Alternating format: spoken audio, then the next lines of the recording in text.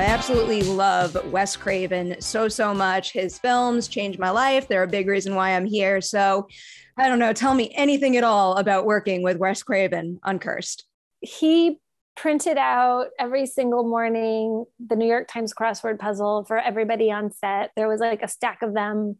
And so every morning, like as everyone showed up for work, like I can't remember if it was his assistant or script supervisor at the time passed out the New York Times crossword puzzle. And so we were all all day long working on the crossword puzzle. It was like like our family like that was the thing we did all day as a family.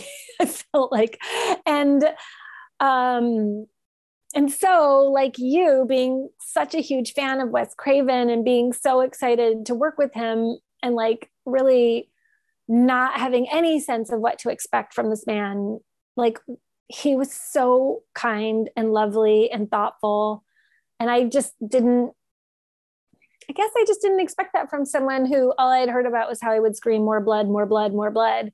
And and like how sweet he was. And uh and like set was really fun. It was like a really family like environment Makes me happy to hear that. I'd never yeah. been shaken in my boots more than the one time I got to interview Wes, and he oh, was oh, just oh, yeah. the most lovely, warm, yeah. welcoming, kind person I've ever met. And yeah, you know, when when you meet your heroes and they live up to your expectations, if not exceed them, it, it means a lot. And it's very upsetting when they don't. So it's always good. That is true do. too.